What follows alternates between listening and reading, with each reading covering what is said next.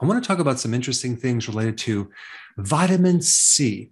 So, the first question is Is ascorbic acid vitamin C? Well, according to the dictionary, it is. But there's an interesting change in the dictionary. Apparently, in the older dictionaries, which I have quite a few different dictionaries, um, the definition of vitamin C is not ascorbic acid. That was actually updated later in the dictionaries. So if you're reading a recent edition of a dictionary, you're going to find that uh, vitamin C is ascorbic acid. But is it really? Does the type of uh, ascorbic acid sold in vitamins nowadays is that very similar to the vitamin C that is in nature? Well, what you need to know is this 80% of all the ascorbic acid sold in the world comes from China, and the rest of it is manufactured by mainly two other chemical companies.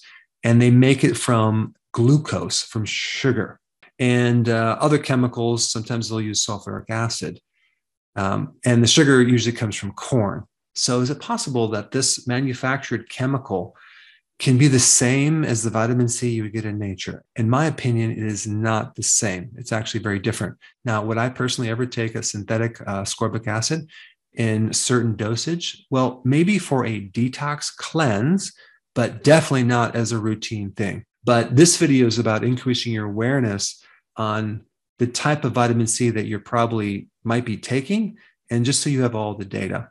Because when someone tells you that there's no difference between synthetic ascorbic acid and vitamin C, they're both the same thing.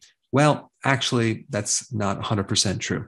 I'm going to put this research right down below. You can check it out. Uh, some real interesting data on vitamin C as far as the research. And the conclusion of a lot of the randomized controlled trials is that there is little to no benefit from taking high doses of ascorbic acid. There's some mixed results with uh, lessening the side effects from cancer, but there is a lot of misinterpretation. And again, I'm going to put that data down below. You should check it out. So the research on colds, um, cancer, heart benefits, mortality, sports performance. It's uh, very, very minimal, if zero benefit. Now, I think regarding colds, the reason why it may help you is because ascorbic acid is uh, acidic. And I do know that taking an acid tends to uh, put the phagocytes in high gear. It makes them work faster.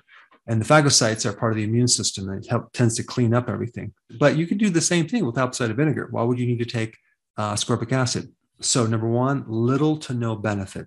Number two, most of the vitamin C sold out there is fake, and I'm talking about synthetic, of just one part of the vitamin C complex that come if we compare this to nature. If we look in nature, vitamin C comes in a complex with different parts. You have the antioxidant part, which is the ascorbic acid. You have you have other parts like bioflavonoids.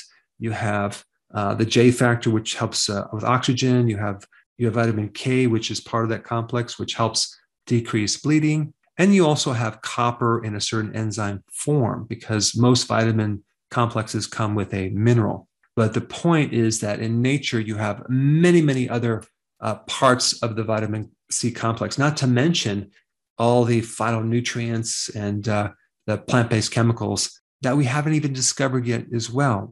We're constantly discovering new phytonutrients that come with different vitamins and minerals. So, if you were to look at uh, maybe the top 10 sold uh, vitamin C supplements on Amazon, and look in the back of the label, you're going to notice that they all say ascorbic acid, eh, but they might add a pinch of rose hips, you know, but they're based on ascorbic acid in large quantities, either 500 milligrams to 1,000 or 2,000 milligrams per serving size. Now, a normal RDA would be like something like 70 or 80 milligrams, okay? But you're getting 500 to over a thousand milligrams of the synthetic version of a part of the whole vitamin C complex.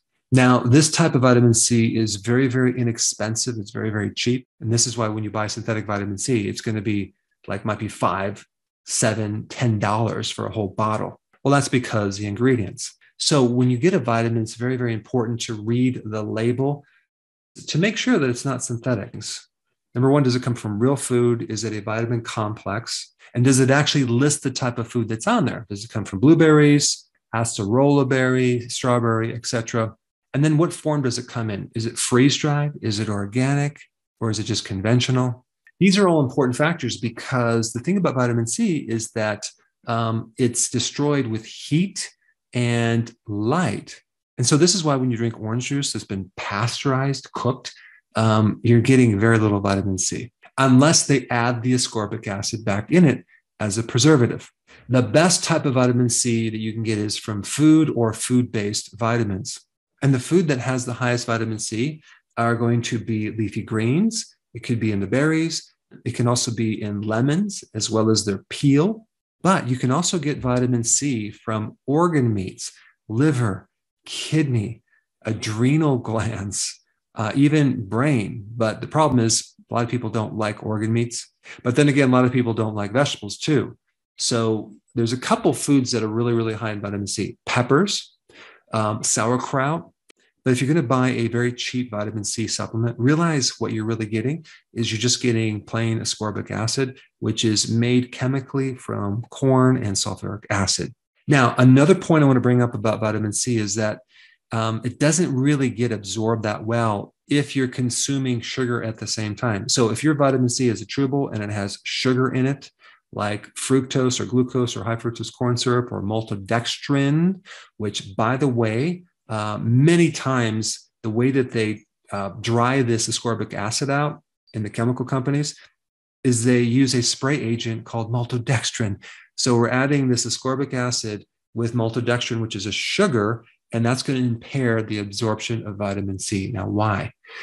Well, it's because the chemistry of vitamin C is very, very similar to the chemistry of glucose. And so, if, if the body has a chance, um, it's always going to go after the glucose first before the vitamin C. So, if you're taking some refined carbs or sugar at the same time you're taking vitamin C, you're not going to absorb vitamin C. Now, the next point I want to bring up is if someone's using a mega dose of ascorbic acid and they're using it as an antioxidant, uh, there's some, some interesting data that this so called antioxidant turns into a pro-oxidant. It creates more oxidation. And that really has to do with antioxidants in nature always come as a network, not as an individual antioxidant. So as soon as this antioxidant donates its electron, now it becomes unstable. It becomes a free radical. But ascorbic acid, a lot of times, will give you diarrhea, bloating, um, and it can even act as a pro-oxidant not as an antioxidant. So, in summary, it's best to get your vitamin C from actual food or food based vitamins, not the synthetic version of a part of the vitamin C complex, unless you're doing maybe a short term cleanse, but you don't want to take it on a long term basis. Now, if you haven't seen my video on what vitamin C actually does, I put that up right here. Check it out.